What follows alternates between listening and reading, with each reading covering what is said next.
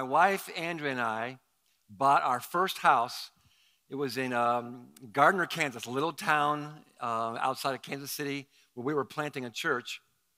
And um, the house that we had lived in before actually was the church's parsonage when we were pastoring in Philadelphia. So this was our first house. It was a small house, but the thing that stood out to me the most was how ratty the yard was. And, it, and I th- one of the reasons it stood out is because I'm a lawn guy. I like lawns that look sweet. And right next to me was a, a, a person that had a, or a family that had a beautiful lawn. And then on the other side of me was another family that had a beautiful lawn. And I'm like, oh man, makes the yard even looks worse. So uh, the guy next to me was the name, guy named Mark, Mark and Patty. So I went over and introduced myself. I said, hey, I'm, the, I'm your new neighbor with the ratty yard. your yard looks awesome. And so uh, you can do that in Kansas. You can just introduce yourself like that. It works. And um, so we, this guy, Mark, and I just kind of struck a friendship. And he became like my, my lawn mentor because my dad, you know, growing up, he wasn't into lawns, and our lawn didn't look that great growing up. It just wasn't important to us. But I wanted, you know, this house to have a cool yard. So I said to Mark, man, how, how did you get your yard so nice? He goes, Well, I tried, you know, planting seed, didn't work. Basically, I boiled down to just sodding it. I know it's kind of expensive, but if, if, in Kansas, it's hard to grow grass. You, you just got to sod the thing. I'm like, okay. So I went down to the, you know, the garden store, and I couldn't believe how expensive sod is. I'm a young man, you know, and we, we were planting at church. We didn't have any money. So instead of sodding the whole yard, I just sodded the front yard. It's not a, not a very big yard. Just sodded the front yard because everybody can see that. And um, it just looked so good. I'm like, hey, Mark, we're, you know, we're a team. This is awesome. But after a couple months, my, there's this, like these parts of the lawn that started looking old and ratty again. I'm like, what, what happened? I, you know, I prepared the soil. and I got rid of all the, you know, the gravel that was kind of on top. And, and uh, you know, this, this should be working. I was watering it, so I just watered some more. And, and the areas that were patchy just got worse and worse. And basically died. And so I said, Mark, whoa, whoa, what's going on here? He goes, Oh, did you put fertilizer on it? I'm like, no, I, did, I didn't. So just get some fertilizer. So we put some fertilizer on it, and it made the, the rest of the yard, yard look really good, but the nasty, ratty parts just looked worse and worse. Nothing was helping. So I'm like, okay, um, I need to go beyond Mark because Mark doesn't really have the, the, the magic wand here for my yard.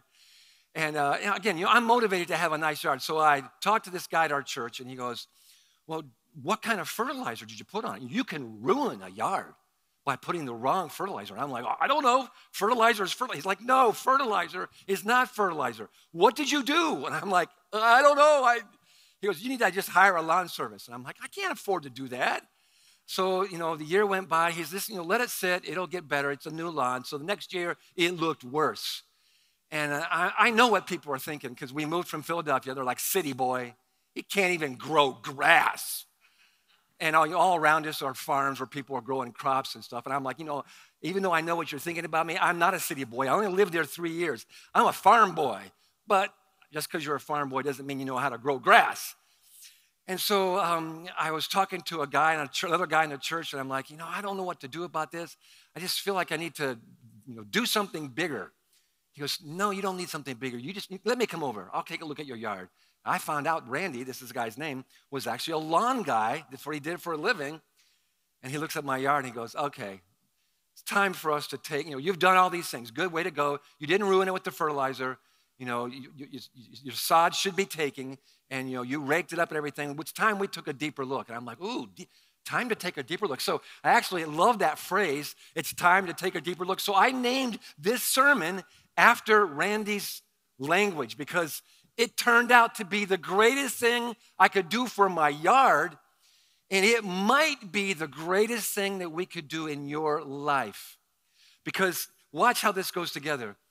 I got to the point, actually, it was a three year process because I also tried to grow grass seed in the back. And just after I seeded it and put straw on it, the worst rainstorm that Kansas had had in 50 years washed all my seed away and about a month later, my the farmer in the backyard, back uh, plot had a beautiful stand of grass from my grass seed.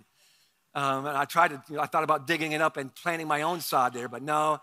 I, I just went through all this stuff, and I got to the point where I'm like, you know what? Maybe, maybe I'm just one of these horticulturally, did I say that right? Horticulturally challenged guys. Maybe I can't grow a simple, you know, yard. And this is over the years, I've heard other people say it, not about their yard, but about their spiritual life. Maybe I just can't grow a spiritual life. Maybe, spiritual depth, spiritual growth is not just the thing. You know, it's for pastors, it's for board members, it's for Sunday school teachers, it's for special people. But maybe it's just not for me. I've actually heard people say, I've tried everything. I've you know, gone to church, I've read my Bible, I've gone to Bible studies, I've been in groups, I've fasted and prayed, I've gone to seminars, I've gone down to the altar and I prayed and I cried. You know, I've done all these things to try to grow myself spiritually. And maybe I'm just not one of those people that can grow a, a, a deep, rich spiritual life. Now, I don't know if that's the way you feel. Maybe you've just kind of given up on it altogether and you're like, well, it's just not important to me. Or maybe you're here frustrated because you do want a deep and flourishing life. You want to harvest, like we talked about last week. You look at other people and you're like, man, her life seems to go so well. When she reads the Bible, when he reads the Bible, it's like it, it opens up to them. And you, if you can do this, you envy with Christian envy. because envy is a sin. You envy with Christian envy their walk with God and their understanding of the word. And so, if that's you, or if you've just given up, I want to invite you to a story that Jesus told that basically is Him taking a deeper look into people's spiritual growth. So, turn with me to Luke chapter 8. This is where we were last week. And we're in this excursion, this extended series, where we're taking an in depth look. And we introduced this last week, but I still want to read the scripture again. So if you'll stand with me, we'll read Luke 8, 4 through 15. Actually, I'm only going to read, you know, like 4 to uh, 8, and then I'll pick it up later. But here we go Luke chapter 8, verse 4. While a large crowd was gathering, and people were coming to Jesus from town after town, he told this parable. A farmer, this fits a good Kansas story, a farmer went out to sow his seed. As he was scattering the seed, some fell along the path, it was trampled on, and the birds ate it up. Some fell on rocky ground, and when it came up, the plants withered because they had no moisture. Remember that. They had no moisture. Other seeds, so this is our third kind of setting, other seed fell among thorns, which grew up with it and choked out the plants. Still, other seed fell on good soil. It came up, yielded a crop a hundred times more than was sown. And when he said this, he called out, he cried out, Whoever has ears to hear, let them hear. And then we'll skip down now to verse 11. So Jesus is going to explain the parable now. This is the meaning of the parable. The seed is the word of God. So this is the sower is sowing the seed. Those along the path are the ones who hear the word of God. And then the devil comes and takes away the word from their hearts. We talked about that last week. Those, um, so that they takes away the word from their hearts so that they may not believe and be saved. Those on the rocky ground, that's the one we're going to look at today, are the ones who receive the word with joy when they hear it, but they have no root. They believe for a while, but in the time of testing, they fall away. Third soil, the seed that fell among thorns, stands for those who hear, but as they go on their way, they are choked by life's worries, riches, and pleasures, and they do not mature. But the seed on good soil stands for those with a noble and good heart who hear the word, retain it, and by persevering, produce a crop. Okay, you may be seated. Did you, did you notice that verses 5 through 8, Jesus tells the parable, and then in verses 11 to 15, he explains it. He doesn't do this very often. Tell us a story and then explain it. But he does in great detail here. And if you missed the seed that the sower is planting in the parable, that's the, that's the sower, that's the preacher That's Jesus in this story, and it's me today who's sowing, who's preaching, who's sowing the word of God into the soil, which is our hearts. And then he talks about four different kinds of soil. Last week was the hard soil or the hard heart. This week, the rocky soil, the rocky heart. Next week, the thorny soil, and then the good soil.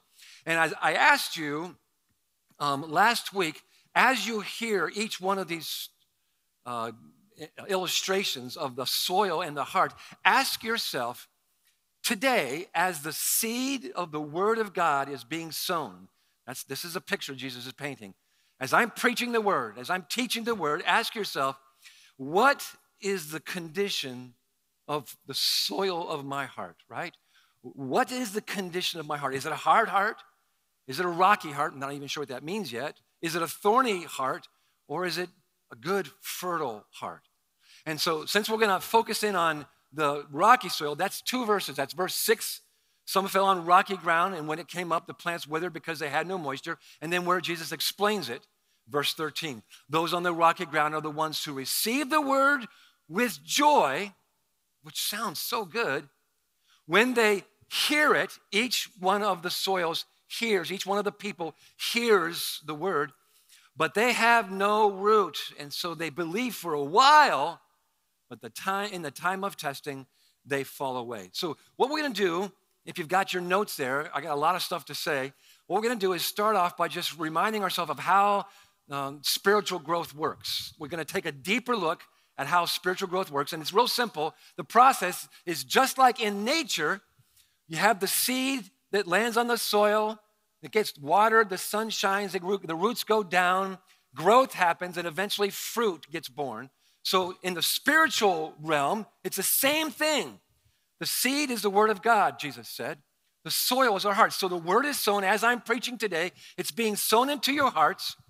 And the roots is faith. As you hear the word, as you embrace the word, as it sinks down into your heart, faith is born, right? Faith is born from the hearing of the word. And as you hear that word and as you receive it, it faith begins to develop, and faith produces this spiritual growth, and that's the fruit of the Holy Spirit. You can see how these line up almost absolutely perfectly. And this is why Jesus is telling the story. And the, the problem with this second soil is that it has no root, roots can't go down. Therefore, there's no fruit that is born, and therefore, there's no harvest. Now, uh, I'd love for you to go back and hear last week's sermon because it sets up this whole series. But let me review something that's very important from last week that I'll do each week. And that is, we talked about the secret to spiritual growth is learning how to hear God's word. Because Jesus uses the word hear all four times, all four soils, all four people's hearts. Each one of them hear the word, hear the word, hear the word. All four of them hear. But it only produces a harvest in one, remember? Only one. So we discovered what every parent knows that you can hear, but not hear. And this is not something that Jesus introduces. This is actually a concept that's picked up from the Old Testament that there's a way of hearing from God's uh, from, from, from God that, that roots into our heart, that changes our lives. And this is why Jesus, just a couple verses later, says in Luke 8 18, therefore, consider carefully how you hear. Not that you hear. This is not consider carefully that you hear. Jesus knows that the seed is being sown. He knows that people are hearing, just like today in all of our campuses. All of you are hearing, small h E A R, but are you hearing biblically? That's, that's why I'm creating this acronym. And that's where it, it comes from these verses in the story that keep talking about hearing. Okay, so each week we're going to build on this. Last week we saw how Jesus's little brother, remember this? James wrote a letter and kind of used the same agrarian uh, picture, the same picture of horticulture, and talked about how we want to humbly accept the word planted in us. He got that image from Jesus. As the word is being preached, as you're reading it, as you're hearing it taught, humbly accept the word planted in your heart and in your soil, the soil of your heart. And so we got our H right from this verse here. And we talked about last week the first step in hearing biblically, the first step in hearing God's way in a way that bears fruit is to humbly open ourselves, to, to prepare our hearts by being humble to the preaching of the word, by opening ourselves. Instead of coming hard, resistant, the arms crossed spiritually. You can cross your arms physically, it's okay. But you know, just kind of a resistant attitude. I come open, I come humble. And we need to be reminded from time to time to come to the Word of God humble. Sometimes we, we have a, a hardness of heart and a resistance that keeps us from hearing what God has to say. Then there's sometimes when we feel like we know this passage so well that we're like, yeah, I understand it. And that's not humility. That's like, I already understand this, Jim. I already get this. I don't need another sermon on this. I get it. That's not humility. So whether you have known the Bible for all your whole life or whether you're hearing it preached for the you know, earliest times, come to the word, come listening, come reading with a humble openness. Amen? So that, that was last week. I told you last week that we would then move to the next word, the word accept, you know, later on the series. Well, here it is, later on the series. And this phrase, accept the word, is the exact same three Greek words as our verse 13, receive the word.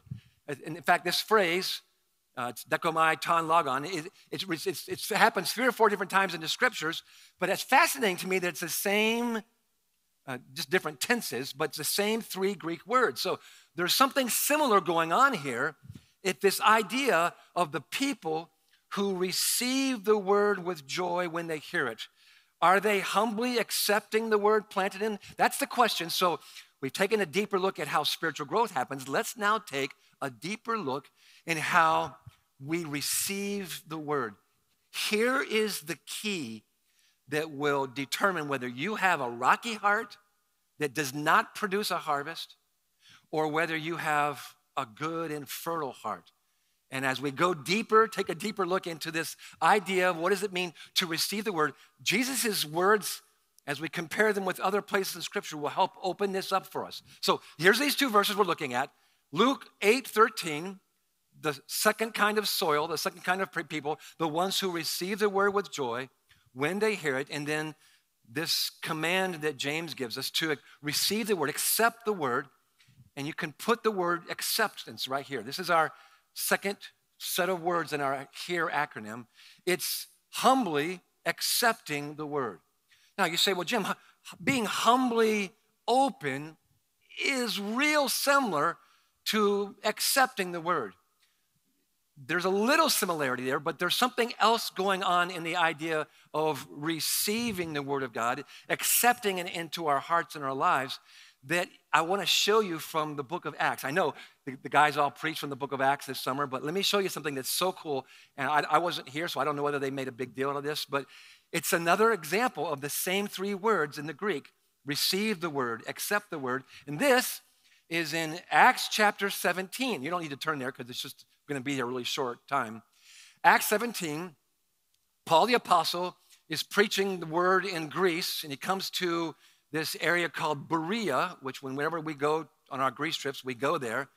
And Luke, the guy who's writing the story, says that when the people in the town of Berea heard Paul preach, they received the word. It's exact same three words. It's so cool. Again, tense is a little bit different, but same three Greek words. They received the word, and then look at that phrase, with all eagerness. That's the key, because that's going to be our word here. To humbly open ourselves when we hear the word and to have an eager acceptance to it. Now, I said that there is something else going deeper than just humbly being open. Let me kind of watch me for a second. The humble openness is like this I'm opening up my life, I open up my heart, I'm opening up my mind. I come to church with a humble openness to hear the word.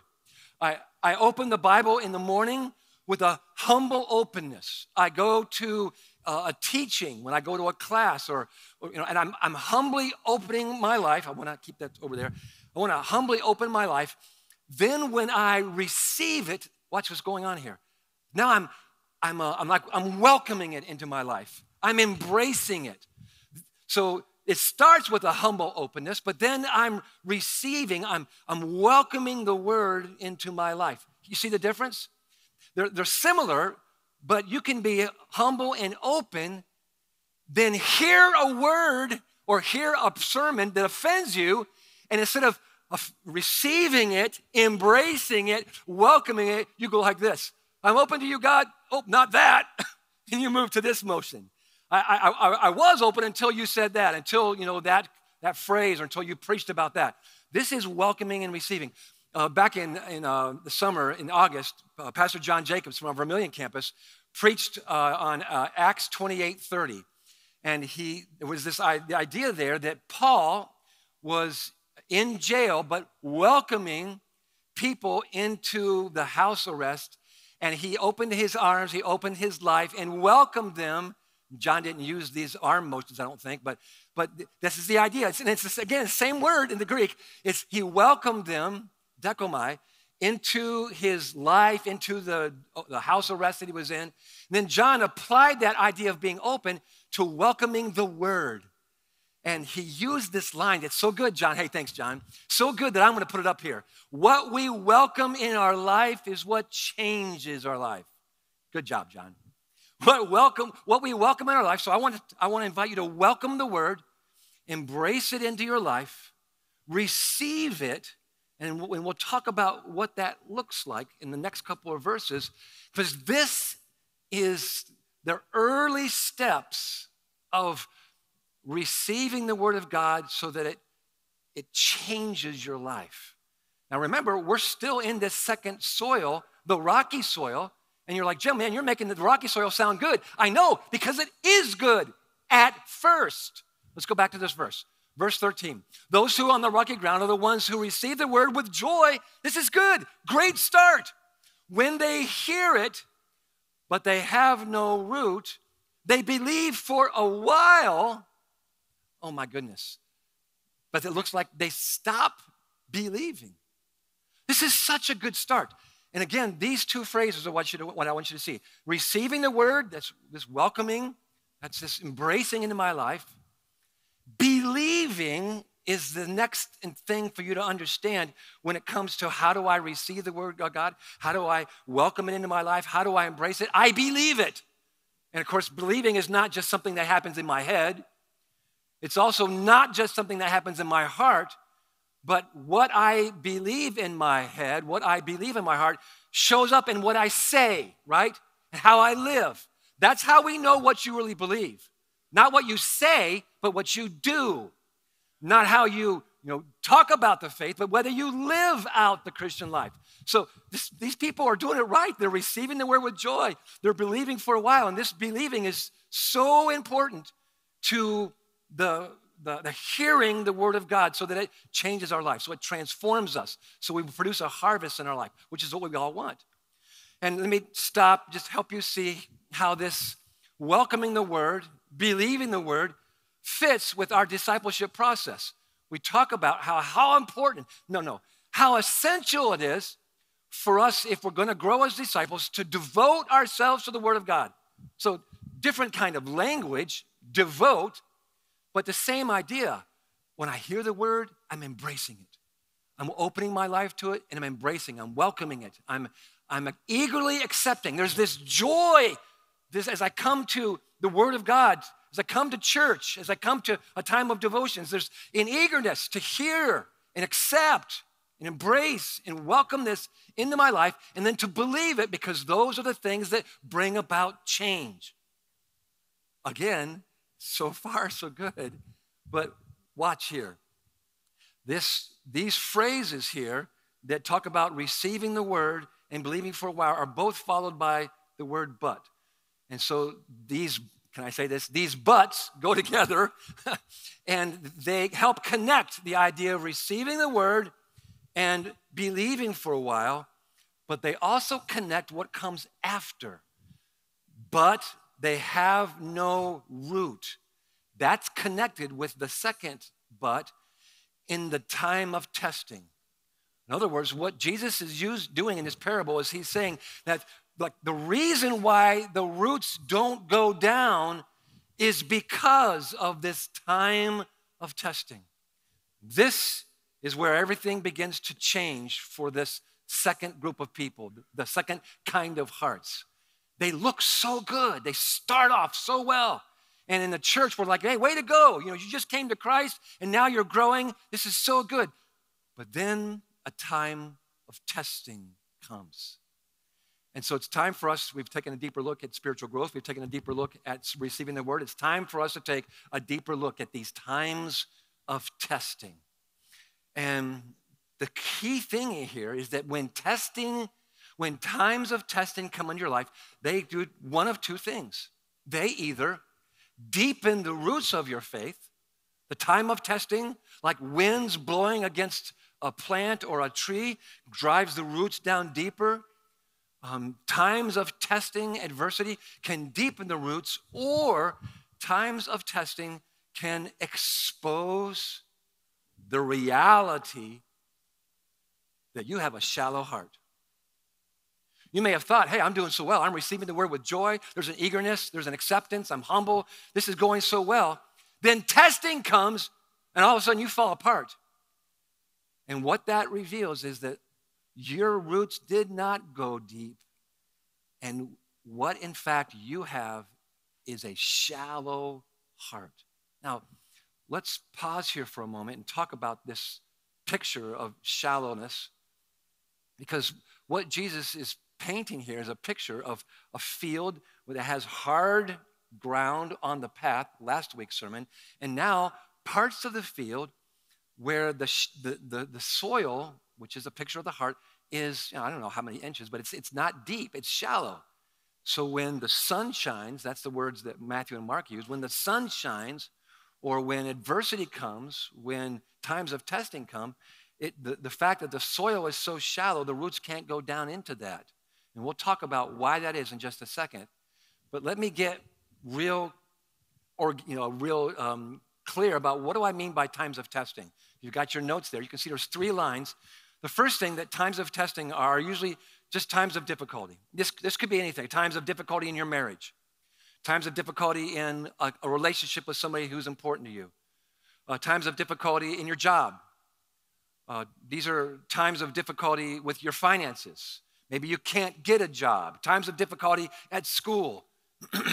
this, there's literally hundreds and hundreds of things that can be times of difficulty in your life, times of difficulty with your health. Any kind of difficulty sets us into a time of testing. And this time of testing, this, this time of difficulty, often, not always, but often brings times of pain. And the, the, the more pain you have, the more relational pain, your marriage is falling apart. And at first, it's like, wow, things are kind of rough here. Then you begin to realize, oh my gosh, we, we don't have anything in common, or we've been doing our own thing, or we've been ignoring each other. And you go through a time of testing, and it, it, it trashes your marriage. And actually, it's not the time of testing that trashed your marriage. The time of testing revealed the shallowness of your marriage. See, most marriages, most people wait until times of testing before they work on their marriage. And usually, or oftentimes, it's, it's almost too late because if it's so far in, people have already kind of gotten their corners. You know, I, I got my position, I got your, you know, you got your position. I know how you are, you know how I am, and we're just kind of get in the corners and then we just fight and we argue and we point and we blame and all that. And so it kind of reveals that you really don't have a very strong marriage. Or, or the times of pain in our financial lives. Sometimes this causes people to go, well, man, I need to wake up and make some changes in the way I, I, I need to start a budget. I need to go to Financial Peace University. I, I need to change the way I'm spending my money or whatever. It's pain in relationships, in life, in jobs, in money. It's pain that often gets our attention, right? What did C.S. Lewis say?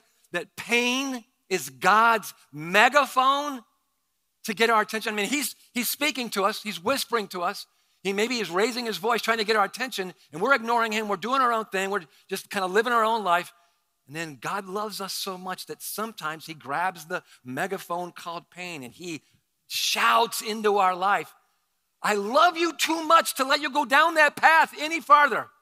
So I allow, not always bring, but mostly allow pain to happen to try to wake you up to see you're going down the wrong path. Remember that proverb that shows up twice in the book of Proverbs?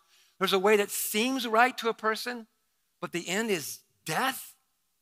That's what this megaphone of, of pain is intended to, to help us see. Times of difficulty are times of testing, times of pain and suffering are times of testing. And don't ever believe anyone who tells you that suffering means you're not walking with God. It might just be that suffering in your life is the sign that God wants to take you deeper, either to repent of the sin that's been creeping up in your life, or to change the directions that you started to go, or to open you up to some new things that He wants to do in your life. Suffering is one of God's most effective tools to help us grow to become more like Christ. I didn't think I'd get an amen there. Let me try you again. Suffering, this is your chance. Suffering is one of God's most effective tools to help us grow to become more like Christ. Okay, that's a little better. And, and maybe you didn't say amen because you're not sure you understand that yet. I'm not sure I believe that. But those of you who said amen, you probably are going, oh, yeah, I can remember how God's used suffering. Again, it's not just because I've wandered.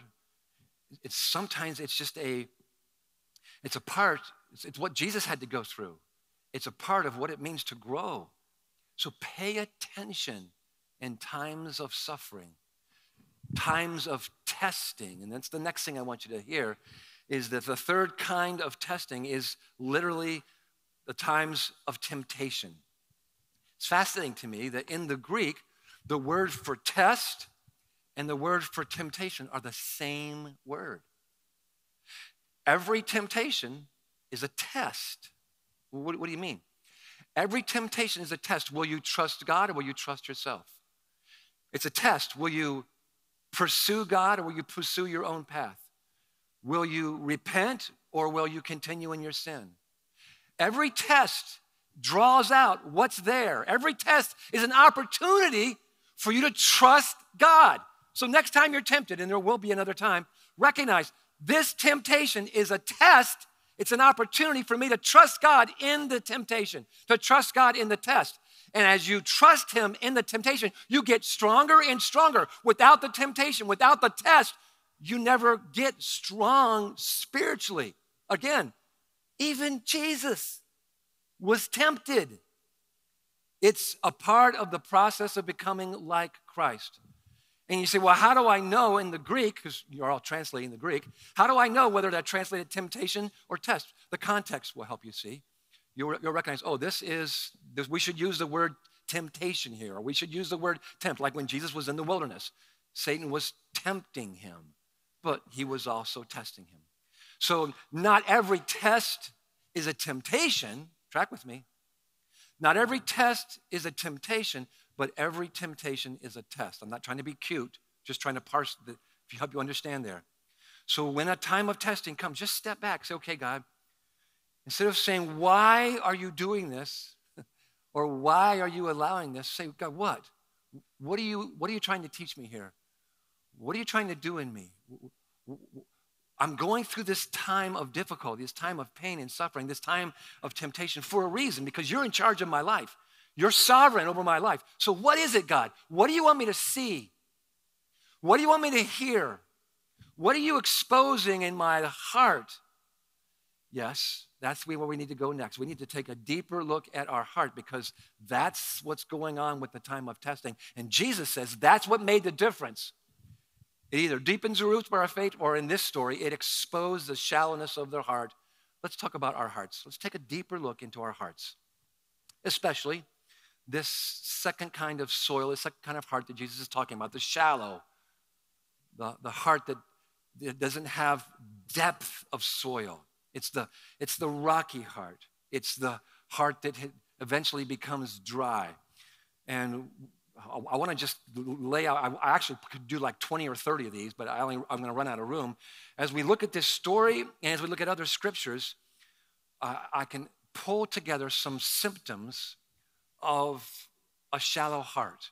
And my prayer with the prayer team this morning, and now I'm just praying right now, is that God will show each one of us here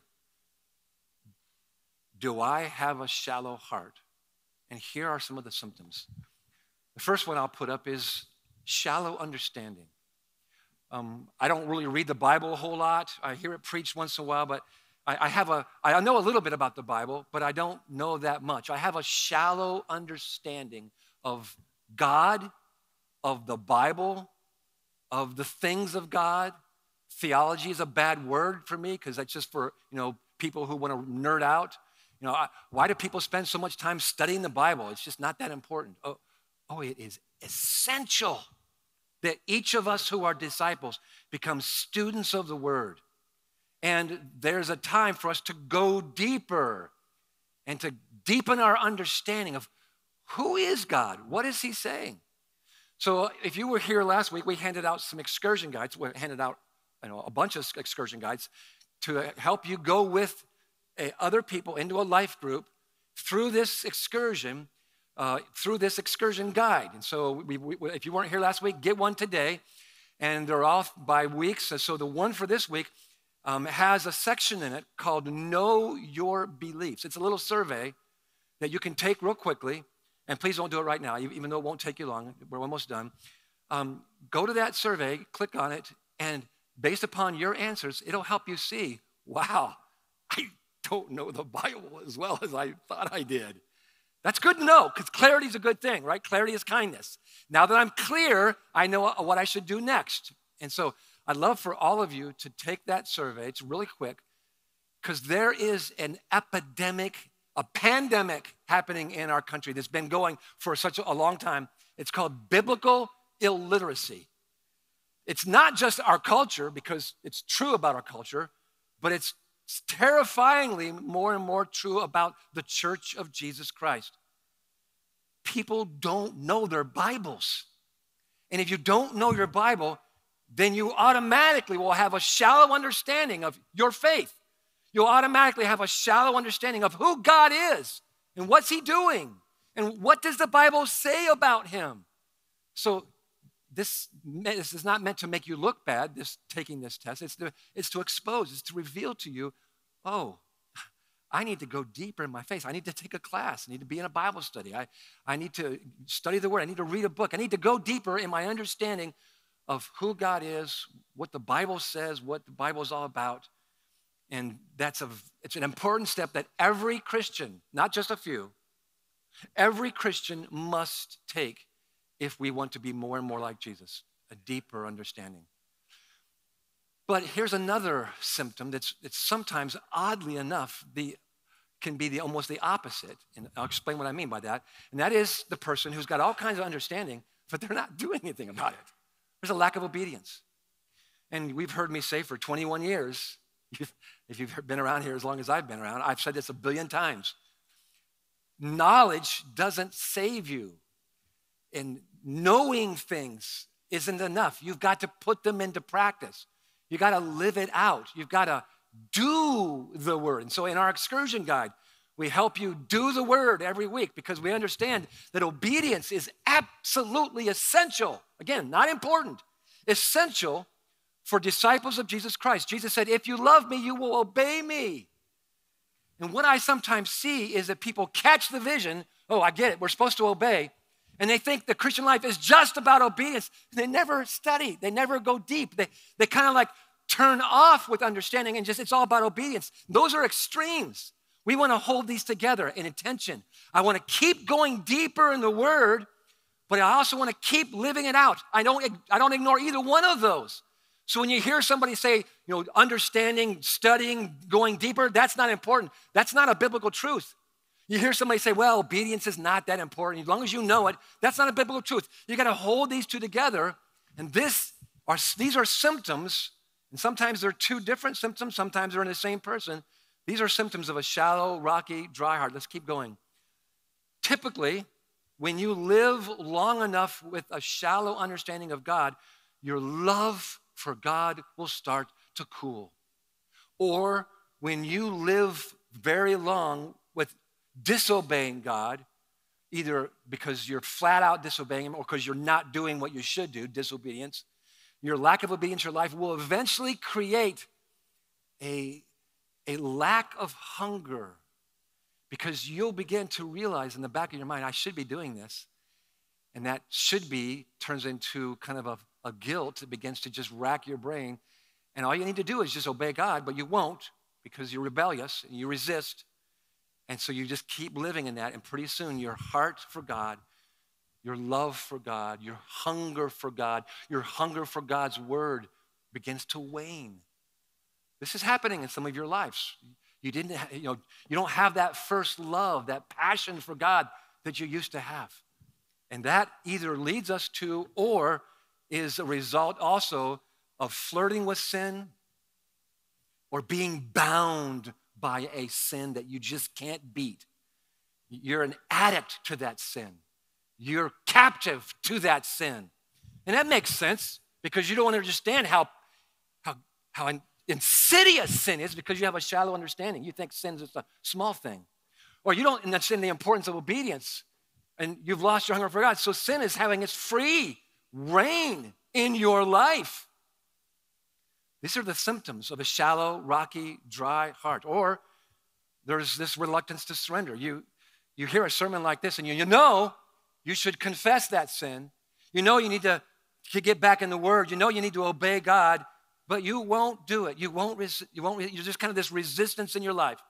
You're resistant to surrender. Instead of opening your life and being humble and receiving what God has to say, you're resisting God. This is a symptom of a shallow, rocky heart. And I've got two more. This is one of the ones that's maybe the ones that is the most difficult to, to deal with. Our unwillingness to forgive, our unwillingness to let go of a hurt or a, a wound that happened in a relationship. And maybe it's something that you did, or maybe it's something that was done to you. And maybe it was recently, maybe it was a long time ago, but you, you're just not willing to go there. And so you, you resist. You, you won't read the, God, the Word of God. You, you won't open up what the Bible has to say. You're, you're resistant when you hear sermons that talk about forgiveness and how important it is. And you're like, oh, here we go again. And you wall up. You won't do it. Somebody just says something real simple to you. You ought to forgive that person. You're like, you don't know what they did to me. And you've got all kinds of reasons for why you shouldn't forgive. And your heart's getting harder and harder and harder. And that soil in your heart is getting shallower and shallower. Uh, so let me let me uh, pause because things are really heavy now and take you back to my story with my friend Randy. He says, Jim, it's, it's time we take a deeper look. And I'm like, okay, that sounds great. Let's do that. What do we need to do? He goes and gets a shovel out of his truck. He goes, We're going to dig up your yard. I'm like, No, no, no. I have spent a lot of money on this yard. Let's not dig it up. He goes, I'm not going to dig up the whole yard, just these patch areas. I'm like, Randy, isn't there some other way? He goes, There is no other way. Listen to that. There is no other way. We got to dig up those areas. I'm like, okay, I'm trusting you. You're the lawn guy. You know, you do this for a living. So he starts digging into my lawn, right in the patch areas. They're, they're nasty and ratty. And I couldn't believe the things he found in my yard. In fact, I, I have some of them right here. This is vinyl siding. It was in my yard, like this not this particular one. I ripped this off my house, or actually, it's a piece, it's a piece I had around. But I had strips of vinyl siding. I'm like, what is that doing in my yard? And then I found bunches of pieces of wood, just lumber, two by fours, plywood, all this stuff in my yard. And of course, there's all kinds of rocks in the in the yard. I, I've gotten rid of the gravel, but I didn't realize there was rocks. But the thing that blew me away the most this is a blob of cement.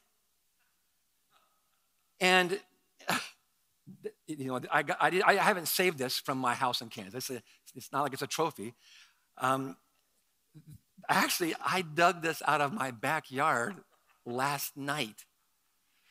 Because as I was thinking about this sermon and preaching, I and remembering this blob of cement. But what had happened was that a um, cement truck, who either was pouring sidewalk or pouring uh, driveway, dumped the, the end of his run into the yard and then just covered it up with soil.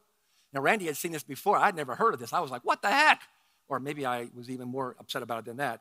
But as I was thinking about this, I, I remembered that 21 years ago when I moved to this house, I saw this, this cropping of cement in my backyard, way in the very back of the yard, and I've left it there for 21 years.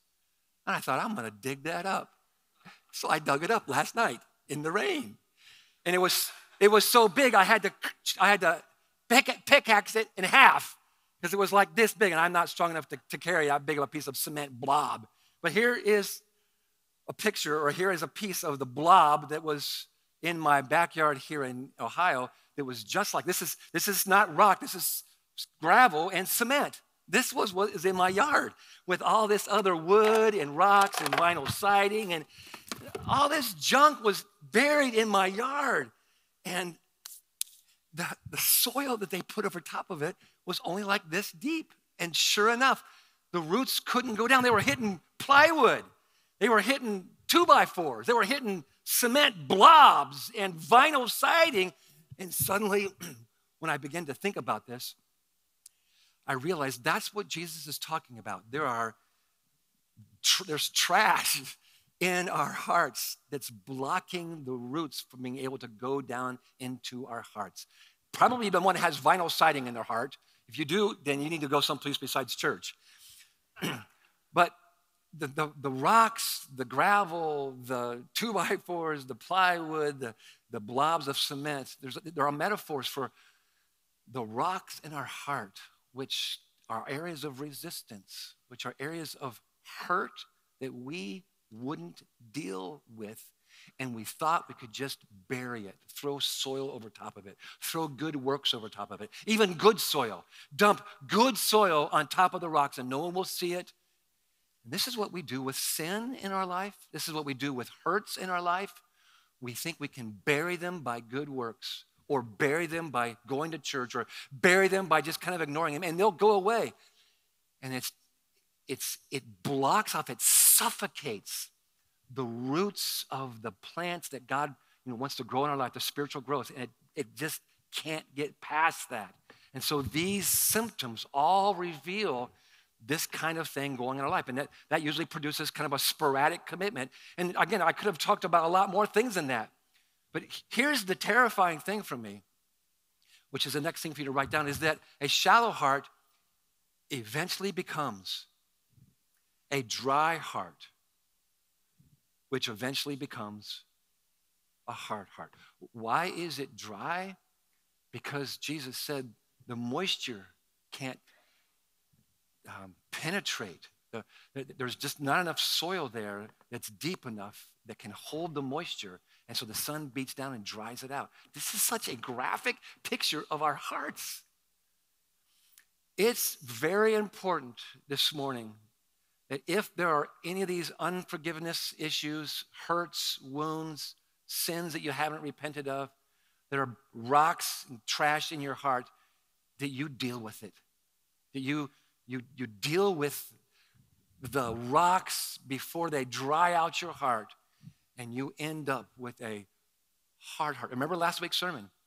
When your heart is hard, hard, the seed of the word of God lands on that heart like a seed landing on cement and it just bounces off. The hard heart is the dangerous place to be. But so is a, a rocky, stony, shallow heart because you're just one or a series of steps away from a hard heart. So let's wrap this up by talking about some solutions. What do I do about? And I've already kind of said some things, but first of all, let's remove the rocks, okay? So let's deal with the past hurts. If, if the rocks are there because you've been hurt or because something has happened that that disappointed you so deeply that it became something you held on to. Somebody sinned against you, somebody hurt you, whether they did it on purpose or not. You got to deal with those rocks. You got to deal with those hurts.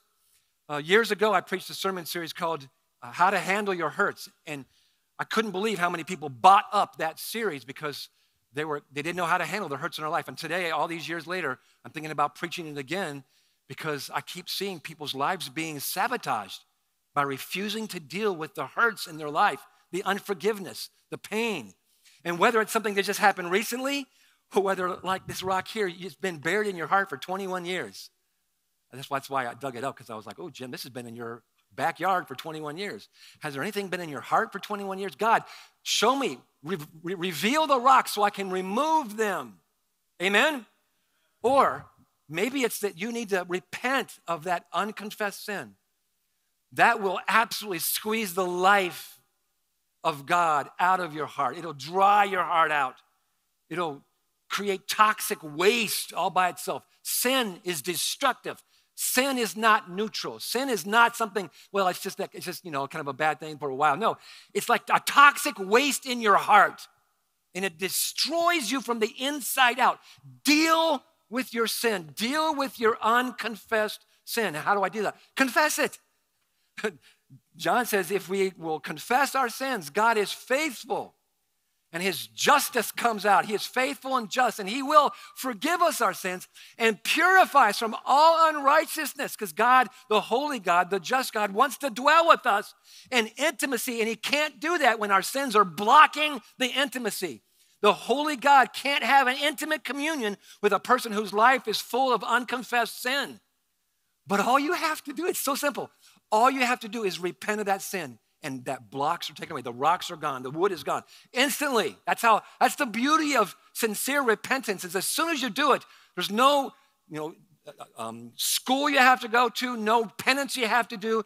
Just repent of your sin, and God will wipe it out and make you clean. Amen. So repent of those things, or maybe it's time for you to deepen the soil. You know, get that understanding, and that deepening the soil it starts with the act of surrender. I'm surrendering to God, right?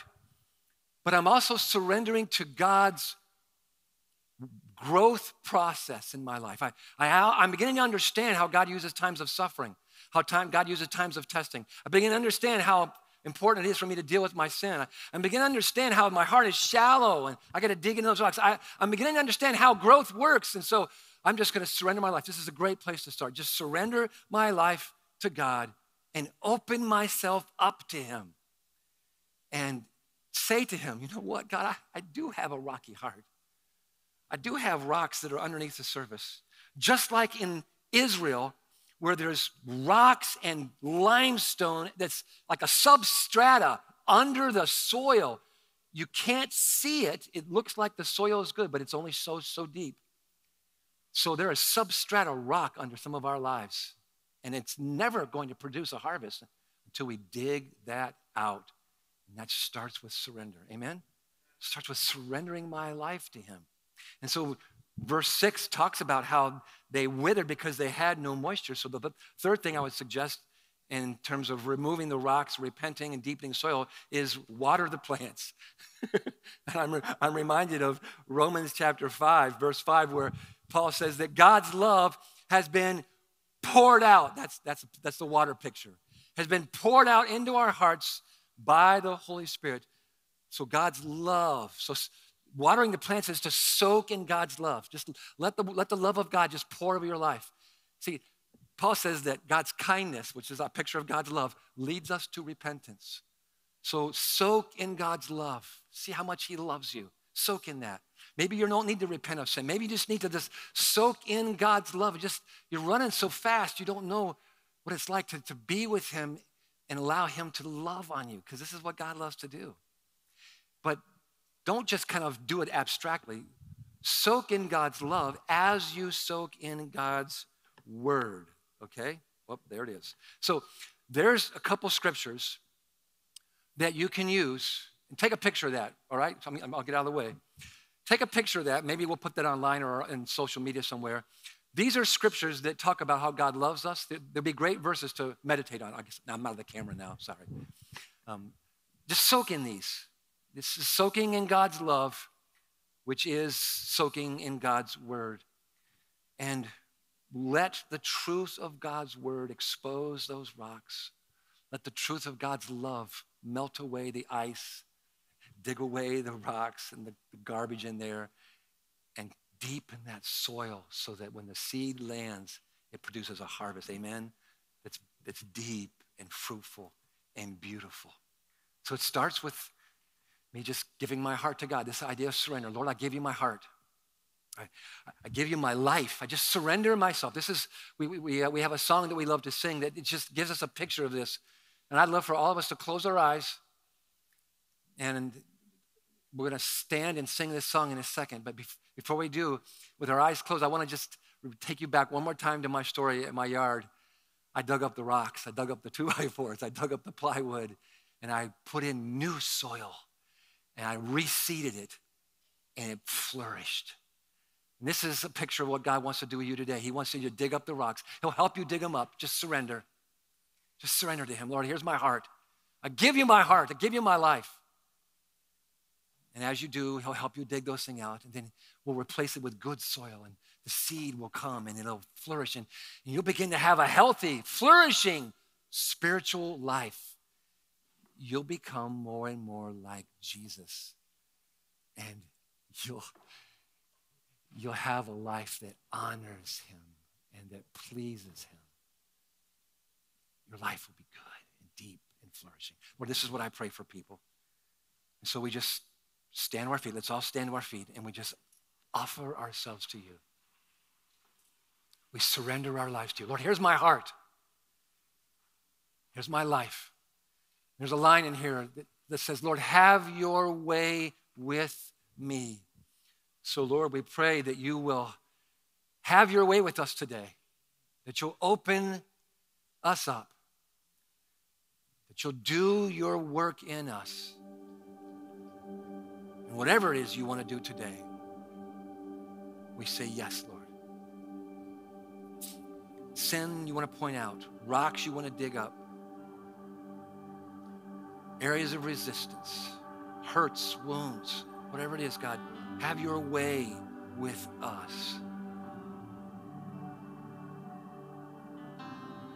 Surrender to you. We pray in Jesus' name.